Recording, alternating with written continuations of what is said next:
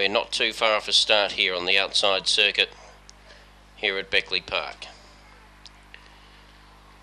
So they're moving in uh, fairly well for the sixth race. Bells are ringing, looks like it'll just go the favourite. A few other chances. And the green light is on, set to go.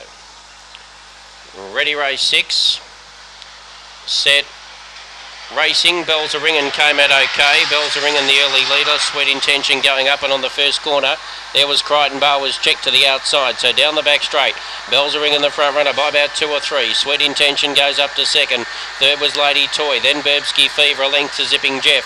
Crichton Bale a long way back now with 18-2 and at the tail Alouette Magic down the back straight and the front runner on the inside bells are ringing a length on the outside Lady Toys joining in as to his Burbsky Fever and getting up on the inside Sweet Intention wide on the track was Crichton Bale. They corner for home. Lady Toy went to the lead.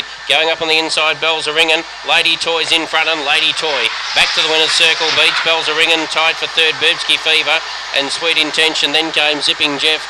Crichton Bale, no luck the first corner, then 18-2 Alouette Magic, and it's 38.86 the run.